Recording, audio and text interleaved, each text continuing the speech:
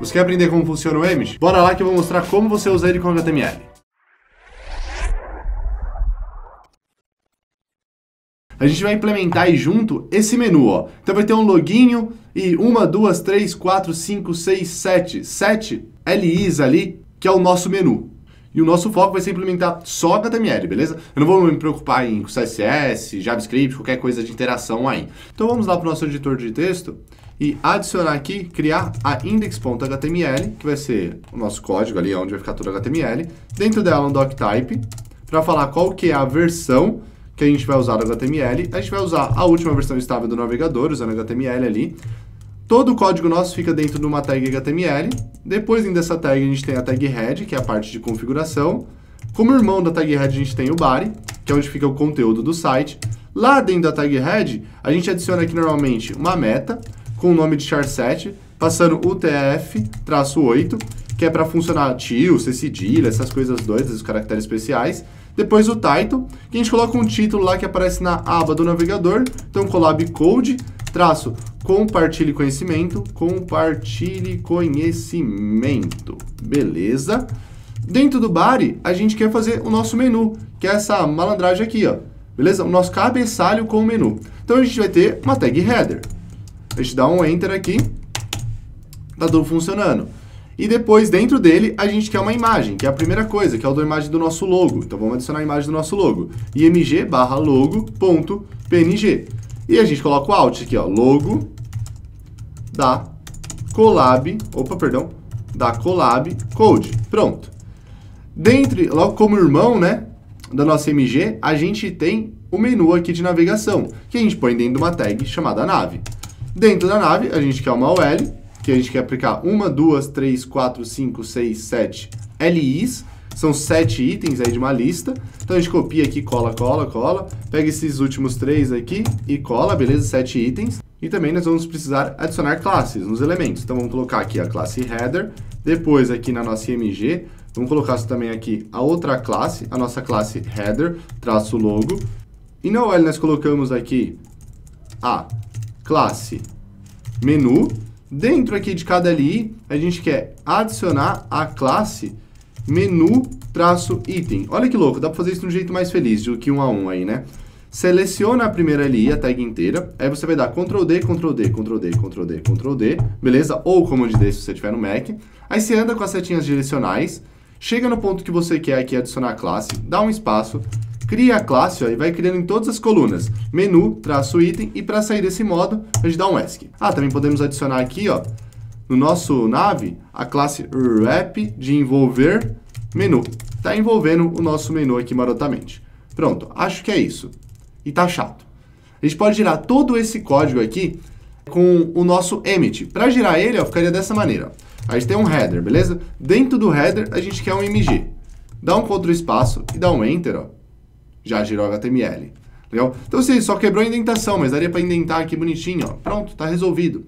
Outra coisa, a gente não quer só o IMG que fica dentro do header. A gente quer também, como irmão ali do IMG, a nave. Então, a gente tem que fazer header. E dentro do header a gente quer um IMG. Como irmão desse IMG, para falar irmão a gente põe o mais, a gente quer o nave. Ó. Quanto espaço? Entra já girou bonitinho. Agora tá indentou, né? Porque a gente não vai ficar tudo na mesma linha, ficar tosco. E a gente tem aqui, ó, a nave e o nosso MG. Mas dentro da nave a gente também quer uma informação. Então vamos apagar aqui, ó. A gente quer o header. Dentro deste header, a gente quer o IMG. Como irmão, a gente quer o nave. E dentro do nave, a gente quer uma UL. Beleza? E dentro de cada UL, a gente quer LIs. Pronto, ó. Ponto espaço, enter gerou. Só a gente não quer uma LI, a gente quer sete LIs, sete itens para essa lista. Então a gente apaga aqui de novo, ó.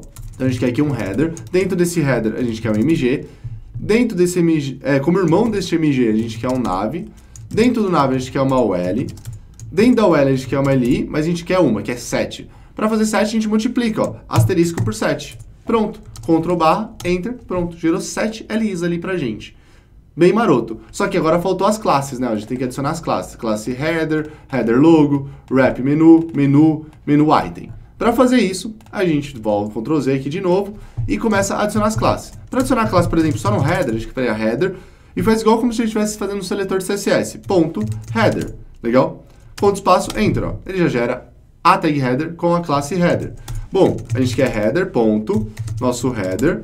Dentro dele a gente quer uma imagem. Essa imagem tem a classe header traço logo.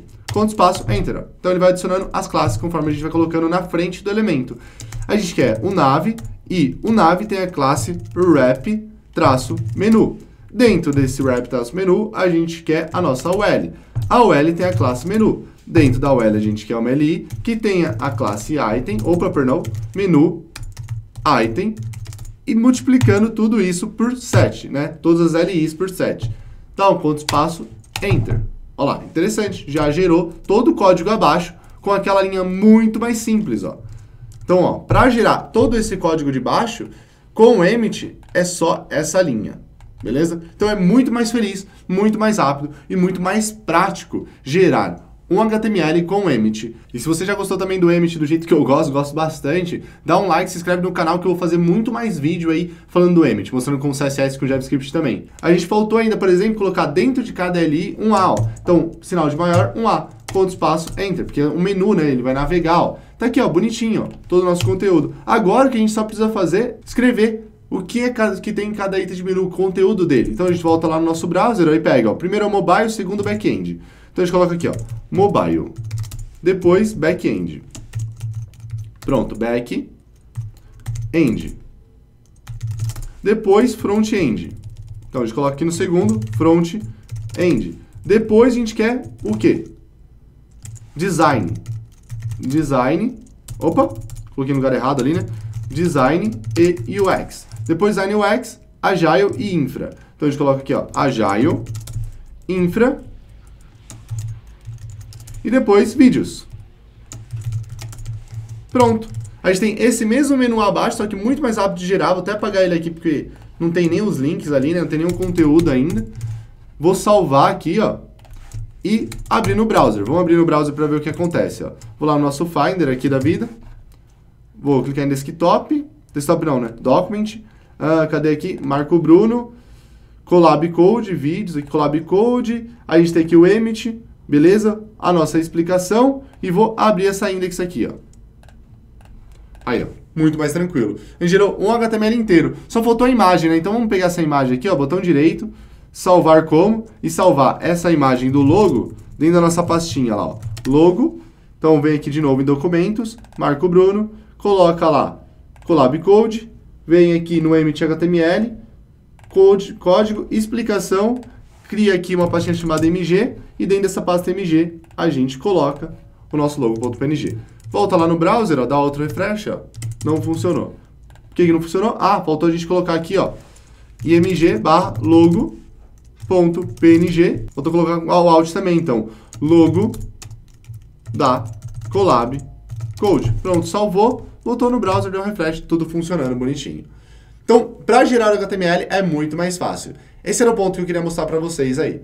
Você pode estar se pensando, pô, muito mais difícil gerar com HTML escrevendo com Emmet do que gerando na mão. Já sei fazer na mão. Recomendo você, uma semana. Fica uma semana falando assim, não vou escrever um HTML a não ser com Emmet. Toda vez que você escrever um HTML, você fala, epa, era com Emmet. Aí você volta, apaga o que você fez e escreve com Emmet. Depois de uma semana, a gente conversa. Se for qualquer dúvida, você pode colocar nos comentários ou me adicionar nas redes sociais. Você vai me achar como Marco Bruno BR, tanto no Twitter quanto no Facebook quanto no LinkedIn. Eu uso também bastante o Telegram, é um chat. Lá você me acha como Marco Bruno BR também. Valeu, até o próximo vídeo.